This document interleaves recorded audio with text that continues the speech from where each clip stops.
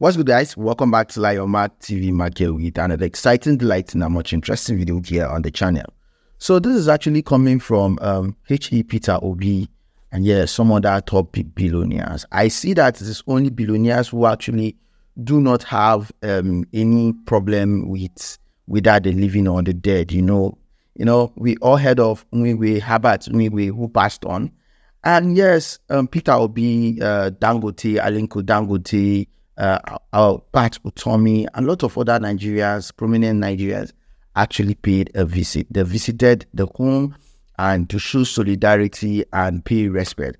And today, the NTSB uh, team, the US authority team, are still investigating this particular issue as well. Well, I'm just going to quite uh, fastly read out what Peter will be posted on his uh, X page and as well take play the video for you guys from the STSB team, NTSB team that are making investigation on this particular video. Let's get right into it, guys. So Peter Obi said, and I read, he said, yesterday, with a heavy heart, I paid a condolence visit to the beloved family of my very dear friend, Herbert Nwige and Abimbola Ogunno, whose deaths continue to break my heart and those in the nation. He continued by saying, I express my deepest sympathies to the Nwigwe and Ogunme family over the crucial loss, Herbert and I have remained very close friends over the years, I, and I cherish the times, ideas, and moments we share. His death remains a terrible sore in my heart, especially when I consider his immense contribution to our national development and his plans to do more for the nation in the critical areas of development. He was a man who remains committed to the advancement of the nation and the progress of the people, especially the youth, as we mourn his very painful death. We comforted by the enduring legacy he left behind, the lives he positively touched both within and outside Nigeria, and the cherished moments of his kindness, simplicity, and love, and love for humanity. May God Almighty grant rest to Herbert, his wife and son, to Abimbola, and all those who died in the plane crash. May God comfort their families and indeed all of us who mourn and give us the fortitude to bear the sad and irreplaceable loss. This is coming from H.E. Peter Obi. And straight up, I'm just going to play you a video from the STSB team that are actually investigating the plane crash in the US. Please watch the video. Don't forget to subscribe and as well drop a comment below. You could see how billionaires come together to celebrate one of their own. Good afternoon. I am Michael Graham, a board member with the National Transportation Safety Board. I will be pro providing a brief update on the NTSB's investigation on Friday uh, in, into Part 135 EC 130 charter helicopter that crashed on Friday south of Interstate 15 near Halloran Springs, California. The registration number for the helicopter is November 130 Charlie Zulu. As a reminder, we are on scene to gather perishable evidence. The analysis portion of the investigation occurs once all the perishable evidence has been gathered. The, the information I provide today will be preliminary. Today was the first full day uh, the NTSB, the first full day the NTSB was at the accident site. The team began today's activities with aerial drone mapping and site documentation of the wreckage. The airworthiness group began detailed examination of the debris field. The debris field was approximately 100 yards in length. All major components of the helicopter were accounted for and identified at the accident site.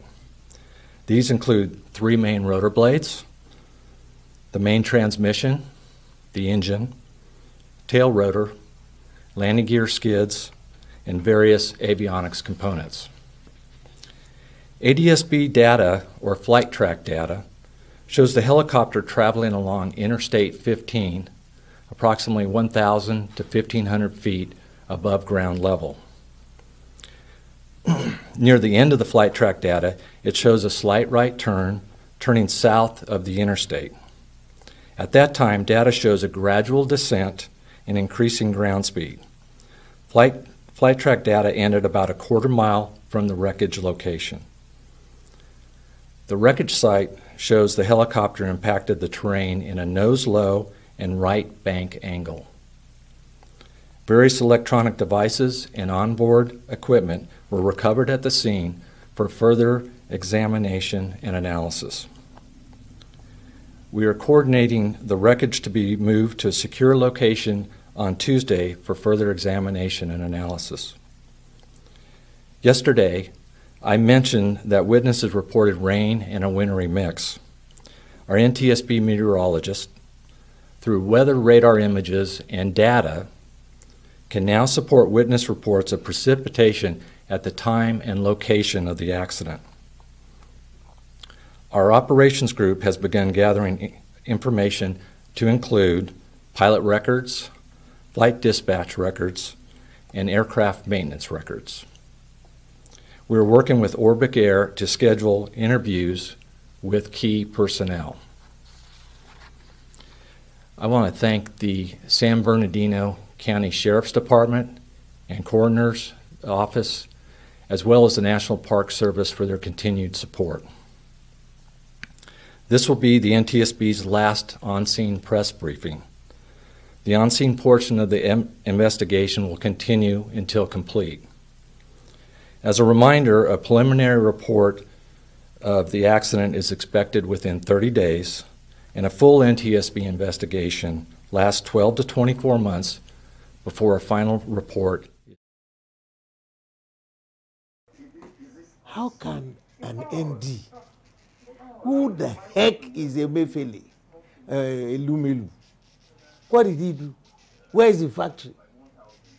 He was a bank man, a floor bank man. Somehow got license. At the same time, we are Adeola. All of them stupendously wealthy now.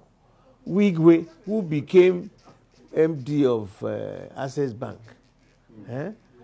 immediately uh, the other young man left, has now established a university.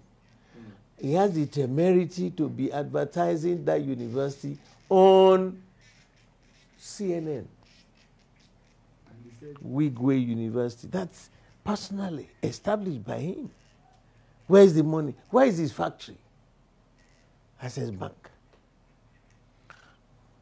What is the practice? They release dollars to them on monthly basis. They use the dollars. If it's at 1 to 100, they will get it the, through the mailer to say 1 to 200. You see that mm. profit. What do they do with it?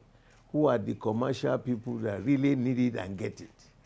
Most people get back to the, to the mala to buy. No, you hardly will get from the bank unless you are. Is that commercial activity? So, what they had done to this nation, they must all be invited for discussion because the rottenness started from that and it's been going on for years. But it has exploded now on our faces and what MFLA did.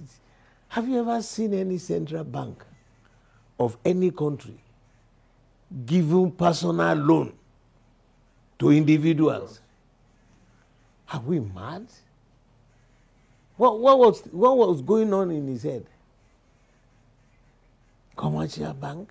You turn the central bank to a commercial bank. Central bank that should be responsible for your fiscal and monetary policies. They forgot completely.